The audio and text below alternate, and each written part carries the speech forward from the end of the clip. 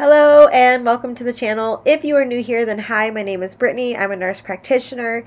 If you are a returning subscriber, then welcome back. I'm happy to have you here as always.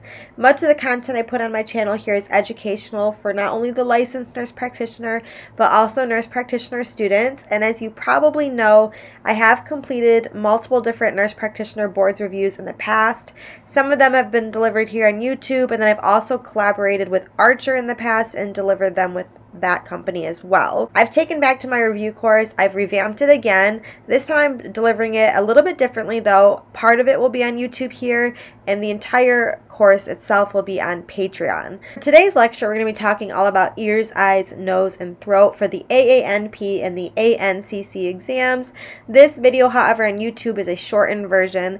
To get access to the complete video and the complete audio files for the nurse practitioner licensing exam, then follow the link in the description box below that will take you to my Patreon. The total review course launches on February 27th, 2023 in which you pay a monthly access fee. Please, of course, enjoy this free video to help you study. And then, of course, to access those complete audio files, make sure to become a Patreon and join the tier titled ANCC and AANP Exam Prep Course. Again, that complete course does not fully launch until February 27th. I just want to make sure and give you guys a sneak peek of everything that is to come. So, without further delay, though, let's dive into ears, eyes, nose, and throat for the nurse practitioner boards exam. So first up, let's talk about some ear complaints. So acute otitis media, or AOM for short, this is primarily an infection of childhood. However, adults can get acute otitis media as well. Most cases of this, though, does occur in young children, typically between the ages of 6 and 24 months the incidence does decline significantly after five years of age. A bacterial ear infection, this is typically a result from impaired functioning of that eustachian tube, and it builds up or it results in a buildup of fluid. And this can be a result from, you know, upper, upper respiratory infection that the child had or individual had, allergic rhinitis, but the idea is that it occurs from impaired function of that eustachian tube. So symptoms of AOM, so they typically present with unilateral otalgia or ear pain, bulging and erythematous tympanic membrane on your exam, and potentially conductive hearing loss. And we're going to go into hearing loss a little bit more here in a minute, but just for your knowledge, AOM, this can cause conductive hearing loss. Diagnosis of this is made on clinical exam in the presence of that bulging tympanic membrane, and the treatment for acute otitis media is oral antibiotics. So for the pediatric population, strategies to manage AOM, so there's a couple different approaches. Immediate treatment with antibiotics, this is one approach, and then there is a wait and see approach. And the wait and see, this is a delayed starting of antibiotics.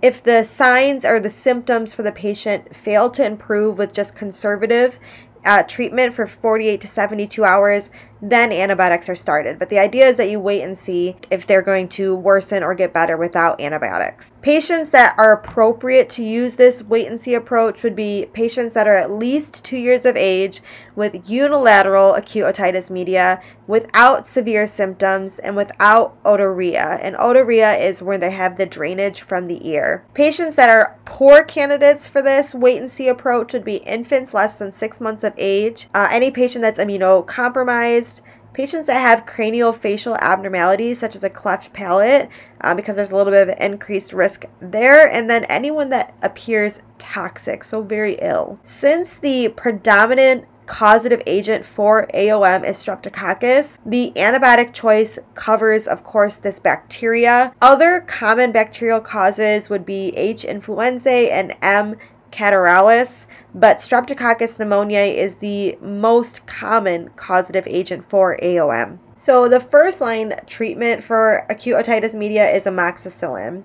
Also, there's amoxicillin with clavulanate, also known as augmentin, and that's preferred if the patient has either had recent acute otitis media, recent antibiotic use, or if they've had treatment failure acute otitis externa now. So this is also referred to as swimmer ear, and this is more common in the warm, those humid seasons, particularly in those patients that have recently gone swimming.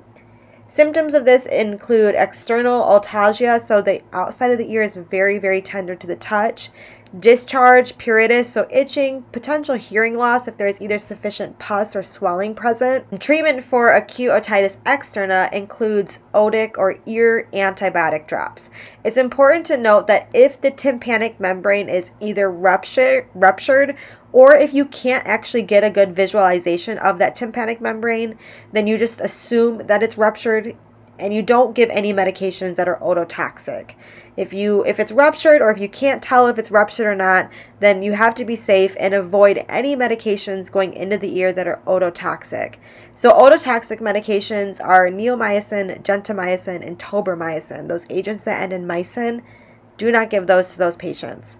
Also, if their tympanic membrane is ruptured, it's really important that they avoid submerging underwater until that tympanic membrane is confirmed to be healed. All right, so now let's talk about sinusitis. So the most common etiology of acute rhinosinusitis, also known as just plain old sinusitis, is viral, believe it or not. this is a pretty frequent education point working in the urgent care for me. But bacterial infection with sinusitis occurs only in 0.5 to 2% of episodes. So, uh, treatment for the acute viral sinusitis, this is just symptomatic management. Typically, it does resolve in 7 to 10 days. And so, it's important then to know, you know, what indicates it to be a bacterial sinus infection. So, symptoms of a bacterial sinus infection would be purulent nasal discharge, severe nasal congestion, sinus pressure, facial pain for at least 10 days, or symptoms that are seemingly improving and then worsen. Treatment for a bacterial sinus infection is antibiotics. So, first line includes amoxicillin or augmentin if that patient does not have risk factors for resistance. Risk factors for resistance would include if the patient is 65 years and older, if they've had hospitalization within the last five days, if they've had antibiotic use within that last month, if they're immunocompromised or they have multiple comorbidities present, or if they're severely ill with their sinusitis.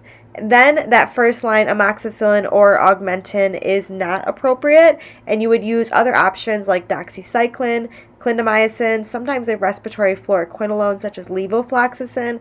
But as always, with those fluoroquinolones, we really want to reserve those for patients that either cannot afford to have treatment failure or if they have significant allergies and it's really like your last resort.